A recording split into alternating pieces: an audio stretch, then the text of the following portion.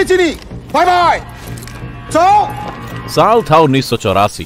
देश पाकिस्तान और चाइना के खिलाफ युद्ध करके जरा संभल ही रहा था कि देश में फिर से एक ऐसा हादसा हुआ जिसने पूरे देश को छकचोर कर रख दिया। और पूरी दुनिया की नज़र भारत पर आटेगी कि अब यह देश अपने आप को कैसे संभालेगा, क्योंकि हुआ ही कुछ ऐसा था। पहली महिला प्रधानमंत्री इंदिरा गांधी की हत्या कर दी गई थी और देश लगभग अनाथ हो चुका था। लेकिन यही मौका था भारत के सबसे बड़े दुश्मन पाकिस्तान के पास। कि वो भारत पर एक ऐसा आतंकी हमला करवाए, जिससे कि पूरा देश सहम जाए। पाकिस्तान की इस नियत की खबर पेरिस के कॉफ़ी शॉप में बैठे एक रॉ एजेंट, संजीव जिंदल को तब हुई, जब लंदन में काम करने वाले उसके एक सोर्स ने उसे जानकारी दी कि इसी लंदन में लगातार अपने लोगों को भेज कर वो मीटिंग कर रहा है, जिसका मतलब साफ़ है कि वो लोग भारत के खिलाफ कोई हमला प्लान कर रहे हैं। साथ ही साथ उस सोर्स ने ये भी जानकारी दी थी कि मिड 1984 से अब्दुल खान पाकिस्तान की आईएसआई और कुछ टेररिस्ट ऑर्गेनाइजेशन के साथ बात कर रहा है। इस सूचना के बाद जिंदल भारत आ जाते हैं और वहाँ अपने सीनियर को इस बात की जानकारी देते हैं। साथ ही एक ऑपरेशन की परमिशन भी मांगते हैं, जिसमें रॉ यूरोप में आईएसआई के इस मिशन के खिलाफ कार्यवाही करें। लेकिन उसके सीनियर भारद्वाज ने उस समय उसे ऐसे किसी ऑपरेशन के लिए परमिशन नहीं दी, क्योंकि भारद्वाज को इस बात का डर था कि लंदन में अगर ये ऑपरेशन फेल होता है तो भारत के रिश्ते इंग्लैंड और यूरोप के साथ खराब हो जाएँगे। लेकिन फिर जिंदल ने भारद्वाज को बताया कि बी एन संधू जिसकी रॉक बहुत दिनों से तलाश थी, वो भी आजकल लंदन में ही रहकर आईएसआई के साथ इसी मिशन में लगा हुआ है, जो कि इससे पहले पाकिस्तान के संरक्षण में इस्लामाबाद में रहता था। तब जिंदल की इस बात को सुन भारद्वाज भी ऑपरेशन के लिए मोटिवेट होने लगे, क्योंकि लंदन में हो रही लगातार मीटिंग्स और कुछ ही दिनों में देश के नए प्रधानमंत्री राजीव गांधी के फ्रांस दौरे को साथ में जोड़कर भारद्वाज ने जिंदल को ऑपरेशन के लिए ग्रीन सिग्नल दे दिया। ये तय हुआ कि ऑपरेशन लंदन में होगा और पेरिस को सब स्टेशन के तौर पर यूज़ किया जाएगा। और यहीं से शुरू होती है रॉ के सबसे बड़े ऑपरेशन हॉर्नेट की कहानी। इस ऑपरेशन में फिर नए जासूस को भी जोड़ा गया, जो इससे पहले भी जिंदल के साथ मिलकर बहुत से देशों में कई मिशन को अंजाम दे चुका था। उसका कोड नेम मोहन नारायण था, जो अपने काम में बहुत शातिर था। अब इस ऑपरेशन को दो हिस्सों में बांटा गया। पहला इंटेलिजेंस को इकट्ठा करना और फिर उसे इंटरप्रेट करने के लिए नारायण और एक और जासूस को रखा गया।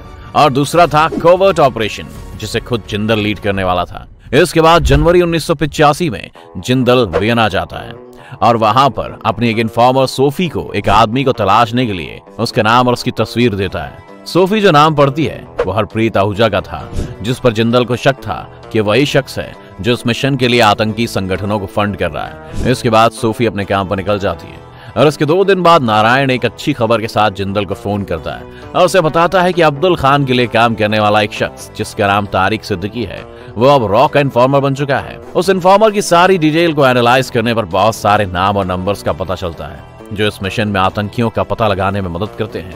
लेकिन उसी में एक नाम ऐसा भी रहता है, जिस पर ज़्यादा ध्यान दिया जाता है, और वो था हरबख्श सिंह का, जो संधू के लिए काम करता था।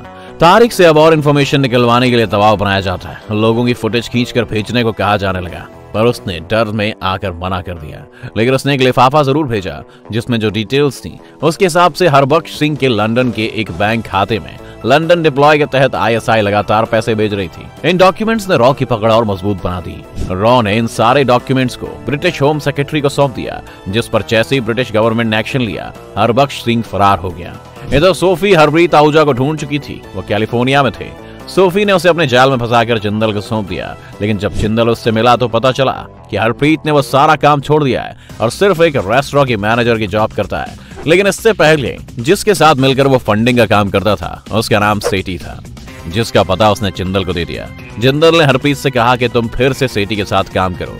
हरप्रीत फिर से सेठी से मिलता है और काम करना शुरू कर देता है। कुछ ही दिनों में रॉस सेठी को भी पकड़ लेती है। पकड़े जाने के बाद, जब सेठी के पास कोई ऑप्शन नहीं बचता तो वो जिंदल को सब कुछ सच सच बता देता है। वो बताता है कि आईएसआई के छह लोग लंदन में अटैक के लिए तैतीस आतंकी नेटवर्क के साथ काम कर रहे हैं। ताकि वो भारत पर एक बड़ा अटैक कर सके।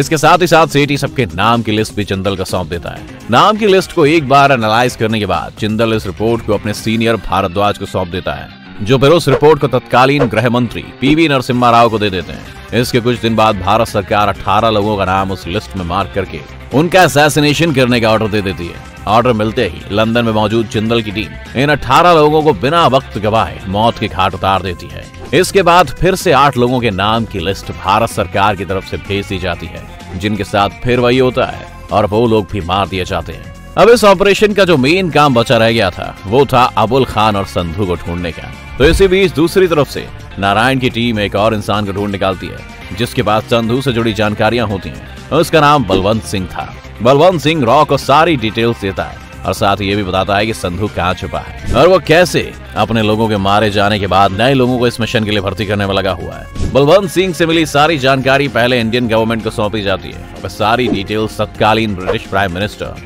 Margaret Thatcher को सौंप दी जाती है। इसके बाद लीड के हिसाब से ब्रिटिश पुलिस संधु और उसके कुछ साथियों को दबोच लेती है और इस खेल में संधु का काम खत्म हो जाता है। इसके बाद अब बारी थी अब्दुल खान की, जिसके बारे में तारिक सिद्दीकी ने नारायण को बताया था कि वो पाकिस्तान जाने वाला है। इस इंफॉर्मेशन के साथ जिंदल वापस दिल्ली आ जाते हैं और अब्दुल खान पाकिस्तान चला जाता है। फिर मई उन्नीस सौ सतासी को लाहौर में एक दिन जब अब्दुल खान अपने घर से बाहर निकलकर टहल रहा था, तभी बाइक पर सवार दो लोग अब्दुल खान को गोलियों से छलनी कर देते हैं, जिससे कि अब्दुल खान की तत्कालीन मौत हो जाती है। इसी के साथ ऑपरेशन हॉर्नेट खत्म हो जाता है और पाकिस्तान की गवर्नमेंट चाहकर भी रॉ कुछ नहीं कर पाती है। आपको क्या लगता है? अगर ऑपरेशन हॉर्नेट नहीं होता तो क्या भारत किसी बड़े आतंकी हमले का शिकार बन जाता?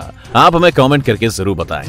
अगर आज की वीडियो आपको पसंद आई हो तो इसे लाइक करने के साथ साथ अपने दोस्तों और रिश्तेदारों के साथ से ज़रूर शेयर कर दें।